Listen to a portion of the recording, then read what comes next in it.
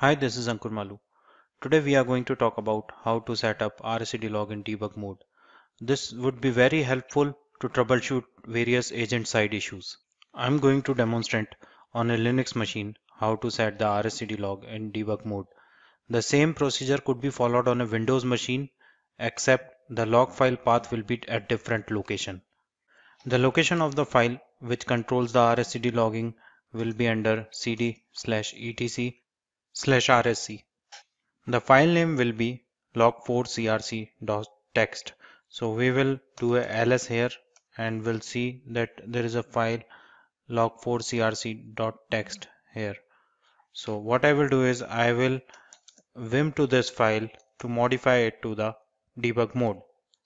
So log4crc.txt enter and I will find the line for category name rscd.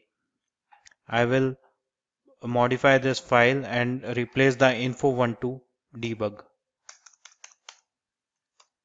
So here I have replaced it with debug. I will save the file and now we have to restart the RSCD agent. So I will do etc init.d rscd restart. So this will restart the RSCD agent and the RSCD log will be set to debug mode. Now I will cd to the directory where my RSCD log is present. So cd slash opt bmc BladeLogic app server nsh log and I will do a ls here. So I could see that RSCD log is present here. I will tail to the rscd.log to see if that is set to debug mode or not. So I could still see that there are info messages, info, info, info, right? There is no debug. So to test this, I could simply go to my BSA console and live browse any of the server object for this server and that should give me debug entries as well. So this is my app server console. I will do a refresh on file system.